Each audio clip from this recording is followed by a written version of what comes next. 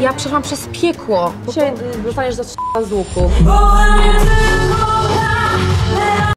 Ja naprawdę tej całej sławy wręcz nienawidzę. 5 sekund tylko. To jest mój rytuał, to jest bardzo ważne. Cześć, witajcie na moim kanale. Ja jestem Weronika. W dzisiejszym odcinku spędzę 24 godziny z Dodą. Już nie mogę się doczekać, ponieważ jak wiecie, Doda jest niepowtarzalna i jedyna w swoim rodzaju. Ja już miałam okazję ją zobaczyć, ale tak naprawdę wtedy nie miałyśmy okazji tak długo ze sobą pogadać i zobaczyć, jak wygląda jej prywatne życie, czego dowiem się w dzisiejszym odcinku. Doda to jedna z najsłynniejszych postaci muzycznego show biznesu w Polsce. Dorota Rabczewska to postać kontrowersyjna, skandalistka i celebrytka. Od 20 lat występuje na scenie, autorka tekstów, producentka, aktorka i barwna postać medialna. Na scenie muzycznej występuje od 2000 roku. 21 października ukazał się jej nowy album Aquarium. Dojechaliśmy właśnie na miejsce. Jesteśmy teraz w hotelu Double Tree by Hilton w Warszawie i tutaj właśnie odbywa się próba do dzisiejszego występu e, Dody i będziemy jej teraz mogli potowarzyszyć właśnie na tej próbie. Później zobaczycie jak wygląda taki koncert od podszewki.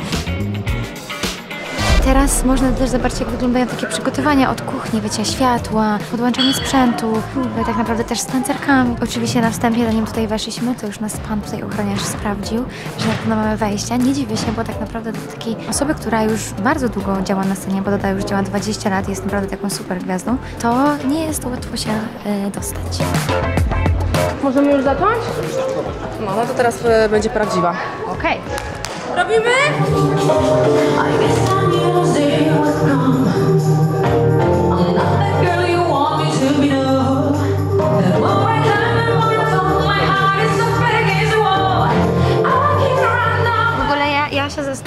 Zastanawiam często, jak ty spamiętujesz wszystkie te ruchy i ile prób musisz mieć przed na przykład wykonaniem jednego takiego koncertu. Nie, to jest wszystko, są układy z teledysków. Ja już ich wszystkich nauczyłam wcześniej. Teraz sobie tylko tak przypominam i szczerze, to nic nie pamiętam. Patrzę na tancerki. Zauważ, że No większość no. takich newralgicznych sytuacji one zawsze są pół kroku przede mną i jak e, nie widzę ich, e, mam to z teatru jeszcze, z musicalu, że patrzę niby wprost, sobie się wydaje, Mhm. że ja patrzę na wprost, a tak naprawdę jestem skupiona na wszystkim, wszystkim co się dzieje na boki.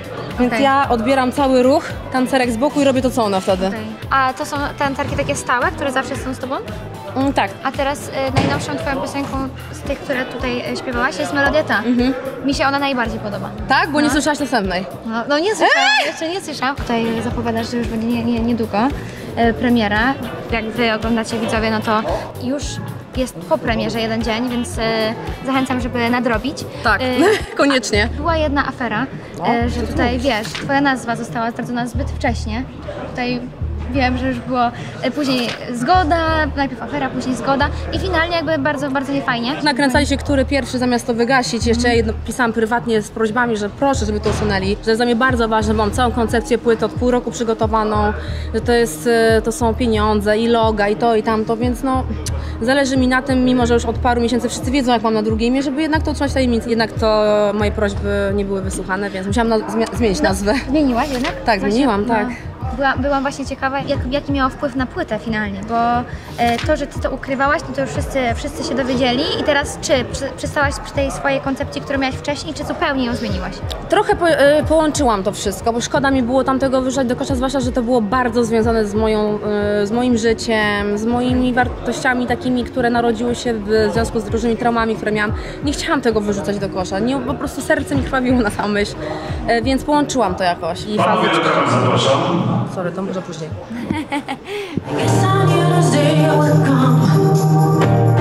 No.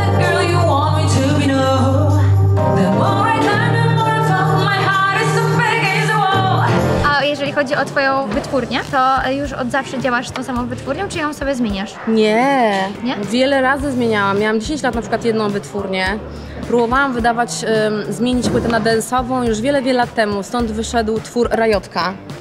I e, był inny zarząd, przyblokował mi tą płytę. Wydawałam single, które nigdy na płycie się nie pojawiły. Wiele utworów poszło po prostu do kosza. W się, zmieniłam wytwórnię. W nowej wytwórni wydałam e, singla, podpisałam kontrakt na płytę. Wydałam singla High Life i kilka innych utworów, które naprawdę dały mi wielką nadzieję, że tam końcu wydam tę płytę, bo moi fani czekali. Tamta płyt- w- e, wytwórnia mi zrobiła jeszcze bardziej w konia. Tak naprawdę mnie mega oszukała. E, Sądziliśmy się po sądach, piosenki zostały mi zabrane.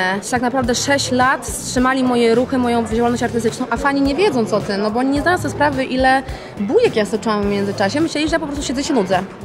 A e, prawda jest taka, że co najmniej 20 piosenek nagrałam, które były rewelacyjne, naprawdę zajebiste, do których nie mam praw, nie mogłam ich wydać, bo na przykład z Warnerem sądziłam się, ale akurat ten szef, który wtedy e, mnie tak zrobił w konia, został e, usunięty. A jak długo już z nimi, teraz tą aktualną wytwórnią pracujesz? No wróciłam później z podkulonym ogonem do tamtej.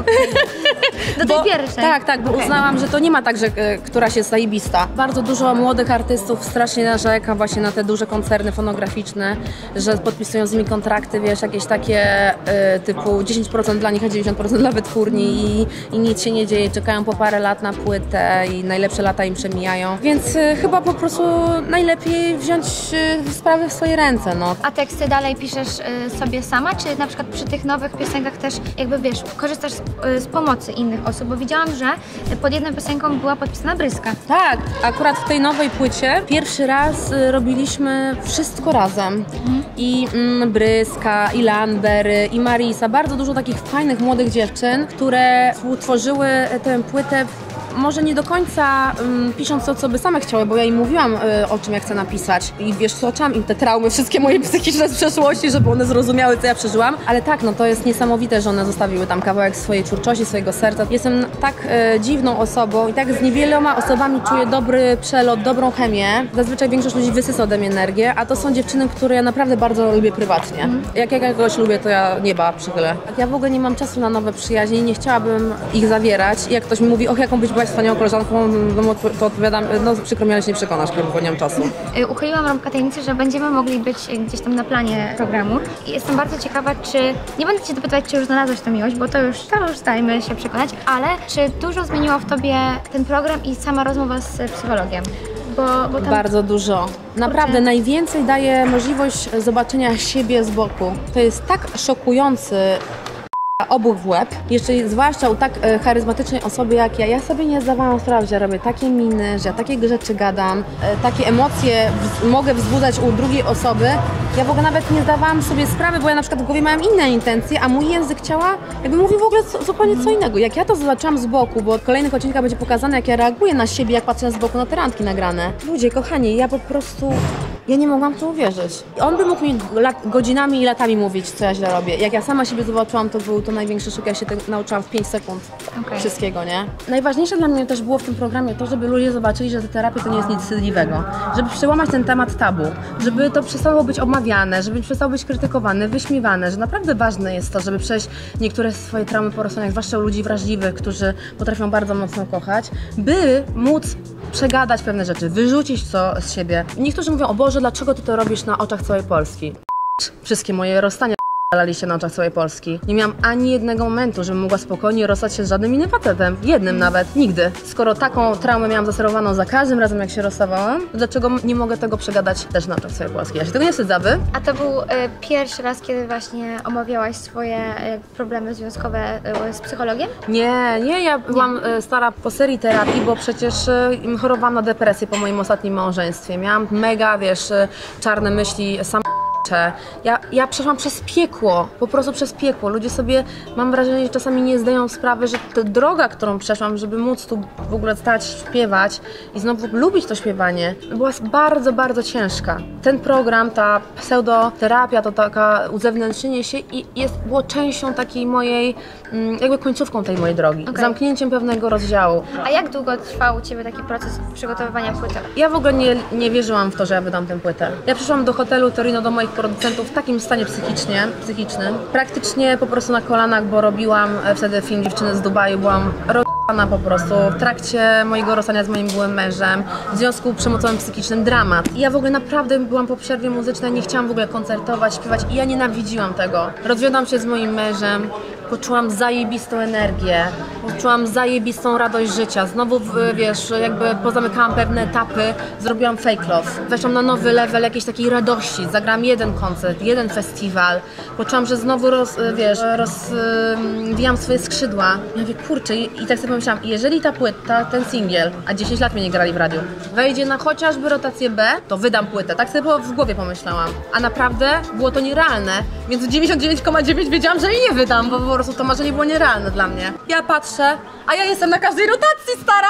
Teraz, teraz lecisz bardzo często. No wiem, ale to sobie myślałam, nie no, ja wiem, to jest jakiś znak, no nie no, teraz ja muszę wydać płytę. I wziąłam się, rozumiesz, w garść. A chłopaki się śmiali producenci, bo nie wiedzieli, oni od początku wiedzieli, że ja potrzebuję tylko czasu i po prostu e, e, wrócę do tego. No i wróciłam, więc teraz mam e, tak zwane 3 godziny przerwy, więc po prostu odpocznę. Normalnie idę spać. No właśnie mnie to zszokowało, jak napisałaś, że u Ciebie wygląda tak, że Ty bardzo dużo śpisz i musisz mieć ten czas na reset. I to nieważne, co by się nie działo, musisz Ja słuchajcie, zawsze śpię w dzień godzinę. Mało tego, jestem tak wyszkolona na trasach koncertowych. Jest y, koncert, nieważne która jest godzina. Mam tak zaprogramowany web, że gram koncert o 21, o 19 zaczynam się szykować, o godzinie 17.30 idę spać. Zamykam oczy, śpię godzinę, koniec. No dobra, to co stara, ja się, ja się szykuję i widzimy się teraz za 2-3 godzinki na backstage'u, na make-upie. Hej, nie ma ze mną Verso, bo no nie ma. E, ale żeby nie było, że ściemniam, to jestem teraz w łóżku, jest 16.30 i idę w kino na godzinę przed koncertem. 50% wyglądam taki właśnie chłopczyca menel, a 50% wąt, nie? Mojego życia. I no make-up. Dobra, to teraz pójdziemy szybko, bo ja zapomniałam się przywitać ze sceną, a to są moje rytuały. Doda musi do na scenę. 5 sekund tylko. To jest mój rytuał, to jest bardzo ważne. Mnie nikt nie, mnie nikt nie zobaczy. O. Możemy poczekać? Doda. Co? Musimy poczekać. Na co? Jak już... Jak, przecież ludzie się będą sekund- zbierać, zaraz nas zobaczą. Sekundę. No to jest sekunda, raz minęło. Marek, szybko uciekaj. Raz, dwa zrobimy to, no przez sekundę to będzie. Nie mogę być na scenę, jak mnie nie dotknę. Dotkniesz ją za chwilę, spokojnie.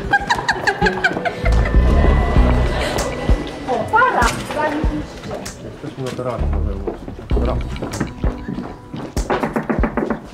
Nie. O, patrz, pobieg tam, pobieg tam.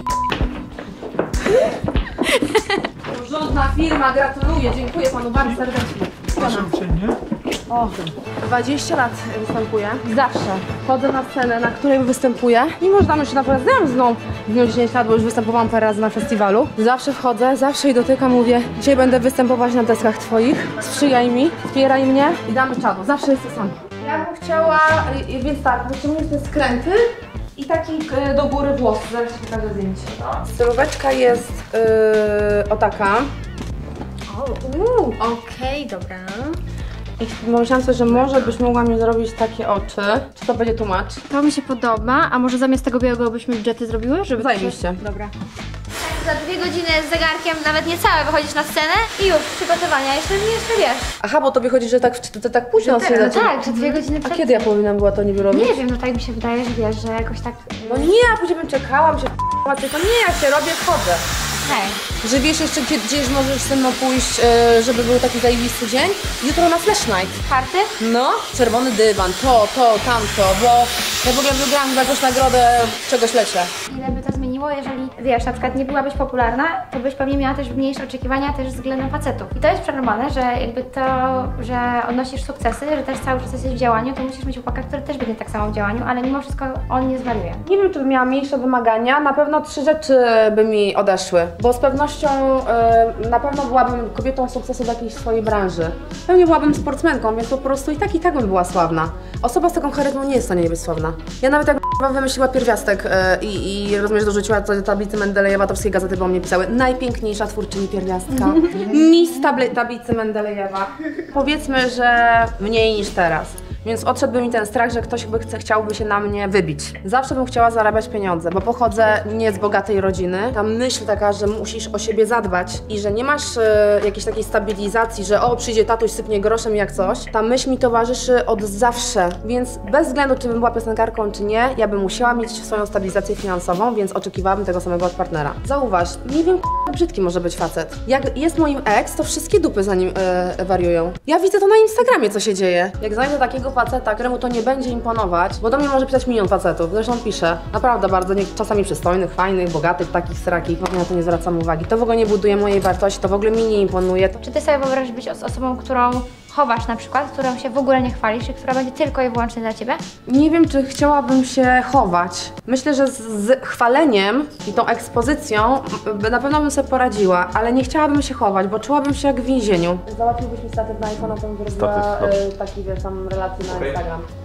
Podoba mi się to. Zero pytań, jaki statyw? Okej. Mamy się wyraźnie znamy 20 lat, on mnie czyta z oczu.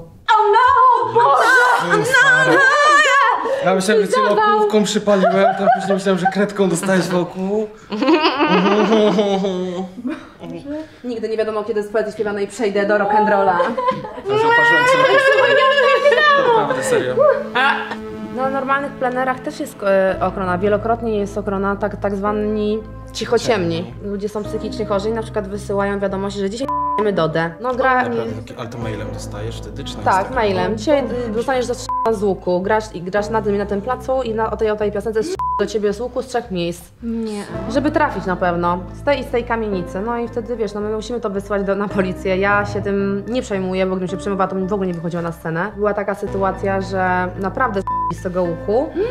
I mi dopiero po siedmiu latach Rafi powiedział, ja nie widziałam tej strzały, bo ona się wbiła tam pół metra od mojej twarzy w głośnik i ja normalnie grałam ten koncert, a ca- a on go widział, tą strzałę po prostu tak Lało mu serce, policja, wszystko, tam była masakra jakaś. Ja tego nie wiedziałam, ja skończyłam koncert, wyjęli szybko tą strzałę i powiedział mi dopiero po 7 latach, nie? Facet z maczetą kiedyś wbiegł na scenę i go w ostatniej chwili powalili, no to nie wzbudziło we mnie strachu. Ja jestem, znaczy nie wiem, może to jest dla mnie jakieś takie dziwne, ale y, ja nie mam chyba takich normalnych mm, kobiecych odruchów, nie? W sensie, że jakby mnie jakiś A, że facet, się boisz, tak, ja bym, ja bym po prostu czekaj. by się od razu tak rzuciła, ja bym była tak podjarana, że mogę mu odgryźć aortę. Ale właśnie, bo ty miałaś też y, występ z Batą Kościtrak, mówiłaś w twojej wywiadach, że bardzo byś chciała z nią mieć występ. I się udało, bo to było chyba w Polsacie, tak?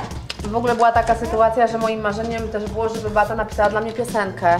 I zamykaliśmy już płytę i do jednej ballady, takiej najpiękniejszej, w sumie e, chciałam, żeby napisała tekst. Była w trasie koncertowej, no tam się jej nie udało w tym tygodniu, w którym ja chciałam, a, a już musiałam go to nagrywać. I wysłała mi w momencie, kiedy ja już nagrywałam tą piosenkę. Przyrzekam, że nagrałam ją. E, Chłopaki mi wysłali już gotowy utwór który poszedł na płytę, a ona mi wysłała ten tekst. Także jeżeli teraz mnie ogląda, to niech mi wybaczy.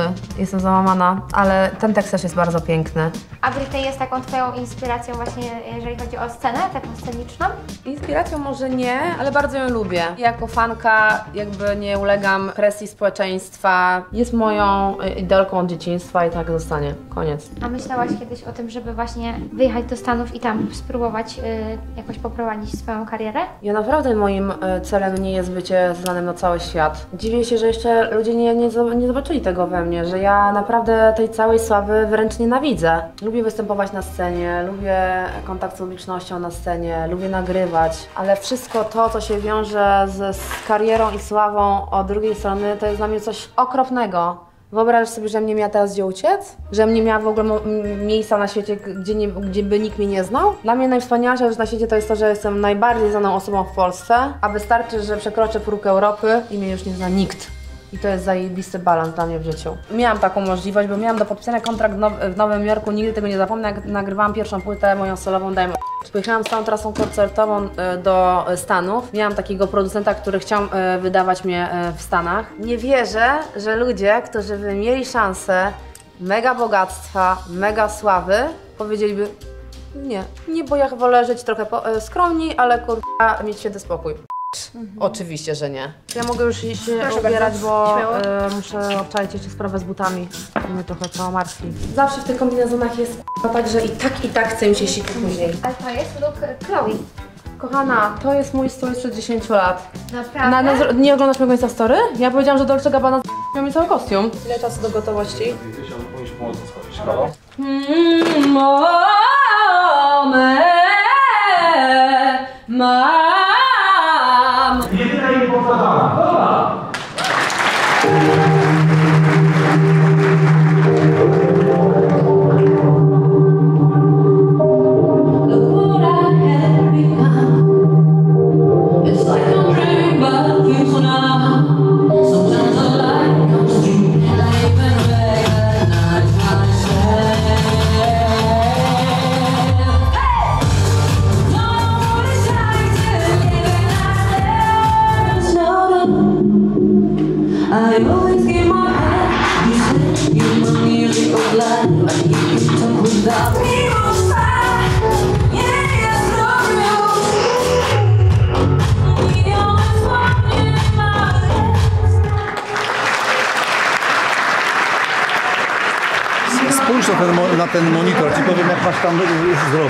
Stać.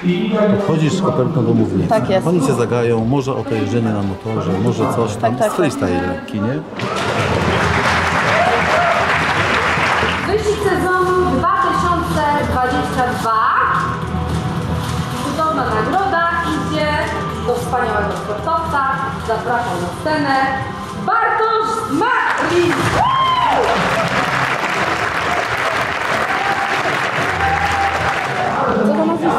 Super, zrobiła show. Dobrze, Tak, zmarli. dobrze. Zmarzli.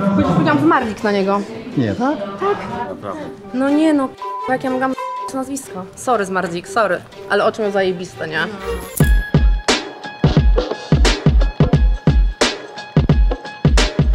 Osiem wiadomości. Zmarlik. Czyli to było słychać. Matka mi napisała. Dobra, ile lat nazywali mnie Robaczewska? Dalej. Dalej k***a mnie nazywają. Czemu robaczewska? Bo k***a umieją czytać, tak jak ja, Zmarlik. Zobacz, wielka głowa jakaś i takie króciusieńkie nóżki nam zrobili, widzisz to? I tu wielki, widzisz to? Zobacz to. Tak, tak, tak, tak, bo ja wchodzę. Co tu się od***ło?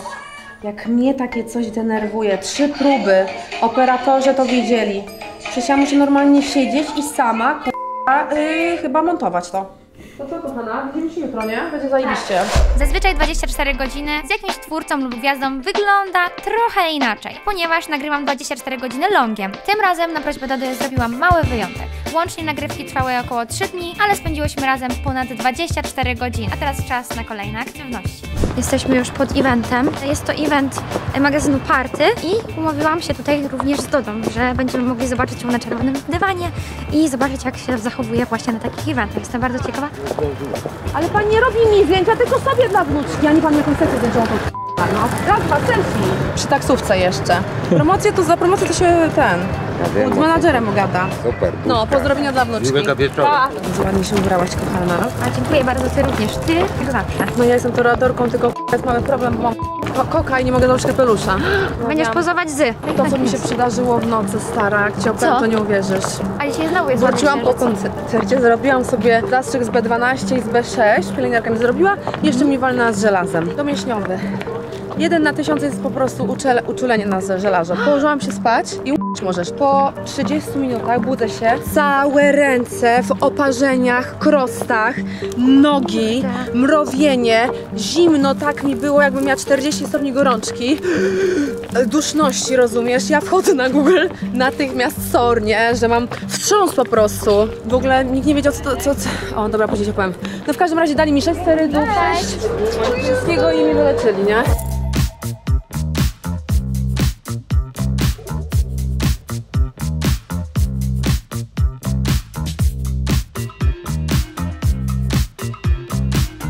Jak są takie eventy, to dostajesz propozycję, żeby po prostu e, jakiś projektant się do Ciebie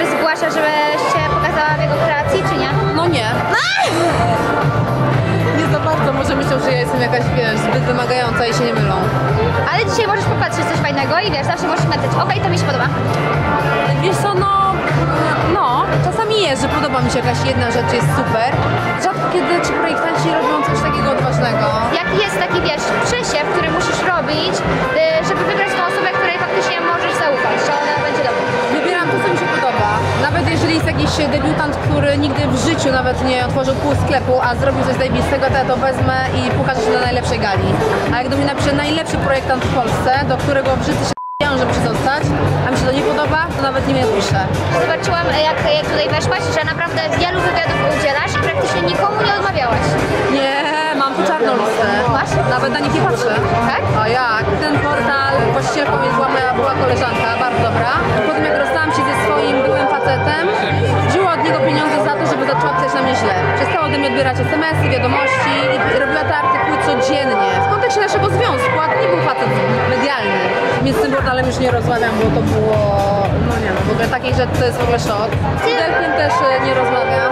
Dzień, w którym e, przestali o mnie pisać jest najpiękniejszym dniem w moim życiu. Artyści, ci, którzy oczywiście, nie, nie zależy im, żeby tam być, bo gdzieś indziej widzą swoją wartość, śmieją się, że wolą siedzieć w pudle niż na pudelku. Najśmieszniejsze jest to, że parę lat temu szumnie ogłosili, że jak przestaną o mnie pisać, to będzie koniec Dody. Że oni mnie stworzyli, ja jako artystka zniknę w przestrzeni medialnej, bo oni są jakby jedynym portalem wśród innych portali, który rozdaje karty i inne portale mogą, e, wiesz, za nimi ewentualnie łapać i błagać o litość, o, takie, e, o taki wydźwięk, jak oni potrafią zrobić. Ja się oczywiście uśmiechnęłam pod nosem, bo pomyślałam sobie nie. Też wolę, żeby te waszym zdaniem gorsze portale o mnie pisały niż wy jedni. Bo niektórzy są młodzi tak jak ty i nie pamiętają. Jak powstawał Pudelek, powstawały tabloidy, młodą dziewczynę 20-letnią niszczyli. Permanentnie niszczyli, na pewno się znęcali psychicznie. Ja znalazłam te artykuły, oni by chcieli, żeby one zniknęły, ale w internecie nic nie. Jak myślicie, czy Doda może być jeszcze brzydsza? Jakie macie życzenia na nowy rok dla Dody? Czy będzie wyglądać jak facet, czy będzie wyglądać jak trans? Teraz, w tych czasach, wyzywać jak transa, by zamknęli pudelka w sekundę wszystkie możliwe aktywistki. Witam Was moi drodzy, jest kolejny dzień i tym razem przyjechaliśmy na nagrywki do programu Dody. Jak wiecie, Doda ma swój program 12 kroków do miłości. Jest o tym, jak idzie na randki i tam właśnie konfrontuje swoje przemyślenia, swoje wymagania y, z partnerami, które, których zaproponowała im produkcja. I dzisiaj jest ostatni odcinek, który ma chyba wyjść właśnie w listopadzie, o ile dobrze pamiętam. I dzisiaj znajdujemy się w domu, gdzie Doda będzie przeprowadzać rozmowę z psychologiem, bo każda jej randka jest później analizowana z psychologiem, omawiana i właśnie dzisiaj będziemy mogli poglądać, jak to wszystko tutaj się dzieje. Moja mama kiedyś mówiła właśnie, że masz takie, że ona by bardzo chciała, żebyś została aktorką i ty masz takie coś, że chciałabyś w przyszłości właśnie e, zagrać w takim przez siebie wyprodukowanym filmie lub na przykład gdyby ktoś cię zaprosił do jakiejś produkcji, to... Nie, nie nadaje się do bycia aktorką. Może dlatego, że nie umiem powtarzać kilkukrotnie jakichś takich, wiesz, emocji, żeby one wyglądały wiarygodnie, autentycznie. Mnie, mnie już to denerwuje po dwóch take'ach. Jestem bardzo spontaniczna, ja tak nie za bardzo nie umiem udawać, męczy mnie to. Drugie, nie umiem się wcielać w jakieś postaci. Można powiedzieć, że spełniłeś trochę oczekiwania twojej mamy w twoim poprzednim filmie, który, który gdzieś tam współprodukowałaś. Tak, no przecież jak I już zagra... odhaczony. No jak, jak zagrałam główną rolę w Pitbullu, to przecież e, tylko i wyłącznie spełniłam jej marzenie.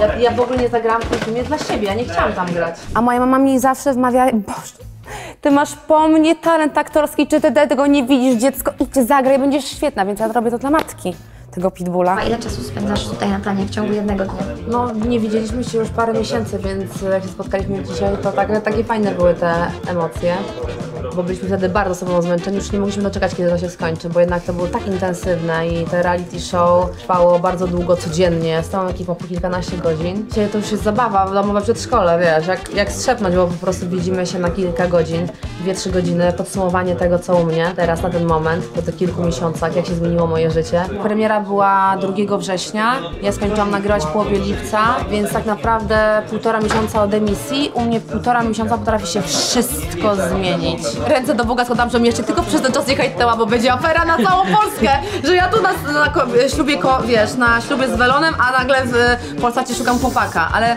prawda jest taka, że no życie jest tak zaskakujące. Zajedziesz mi tą grzywkę, już nie dawaj mi tej, tej prostownicy. Ale no muszę ją Ja- zrobić. No i co, ja będę miała na jeden odcinek fajne, e, fajne włosy, a później dolone, suche, k***a, e, zniszczone końcówki.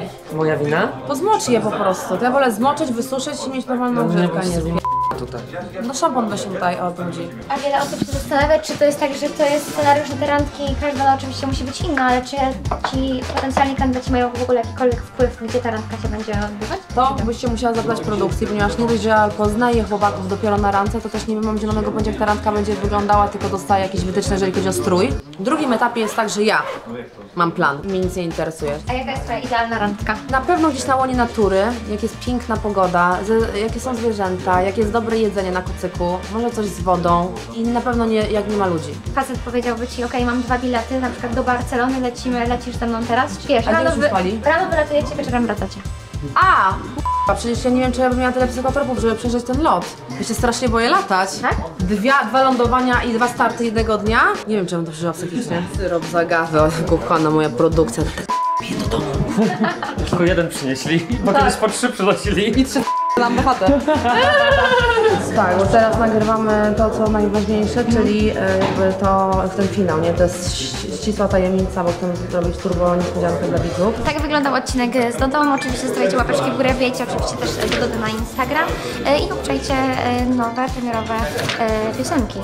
Tak, koniecznie zapraszam do sklepu po płytę. Odsyłamy po płytę e, i widzimy się w kolejnych odcinkach. Do zobaczenia. Cześć, dziękujemy. Duda przesłała mi paczkę z jej płytą. Zobaczmy, co jest w środku. Przepięknie zapakowane, wszystko sygnowane znakiem Aquaria. Mega miło. Dziękuję za wsparcie. Zoda. Zobaczmy, co tutaj jest. Oczywiście okładka jej e, najnowszej płyty, która jest przepiękna. Piosenki. Ja już miałam okazję słuchać, bo jak tylko dowiedziałam się, że już jest premiera płyty, to oczywiście przesłuchałam kilka piosenek. Mam już swoich faworytów. Dajcie znać w komentarzu, jakie są Wasze ulubione piosenki z tej płyty. O kurczę. Kamień. O wow. Ja jestem, moi drodzy, kamieniarą, więc mnie bardzo cieszą takie rzeczy.